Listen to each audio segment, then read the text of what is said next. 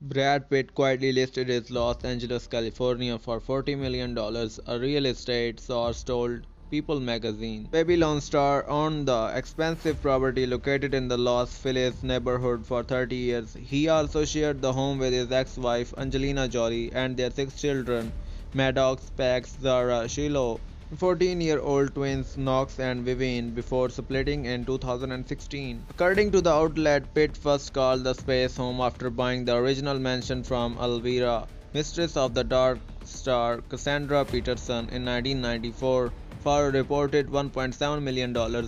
Since then, the Academy Award winner has purchased multiple lots adjacent to the original home and filled them with a swimming pool, tennis court, and skating rink.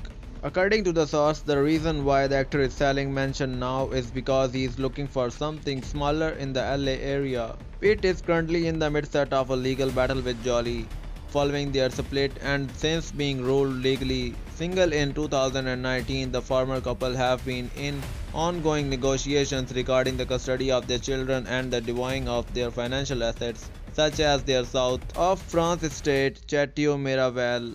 So this is it if you guys want more these type of videos you can subscribe to my channel and press the bell icon for the upcoming videos notification.